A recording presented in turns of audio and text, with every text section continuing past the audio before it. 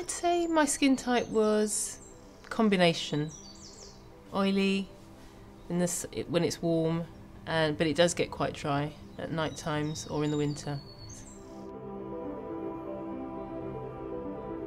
I'd say definitely pigmentation, dark lines, dark circles, blemishes, things that really don't budge no matter how much water you drink or, or sleep you have. I'd hope that a good skincare product would really moisturise my skin in a way where the moisture penetrates and doesn't leave any greasy build-up on the outside. That would, I think, that would be a good skincare product for me. Yeah. Definitely pigmentation. Definitely dark marks that really won't budge.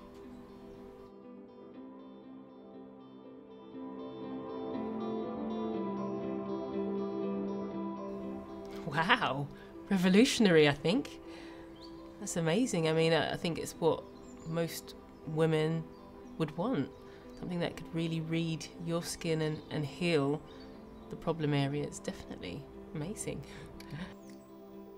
Dark marks and sunspots represent uneven melanogenesis due to free radical damage.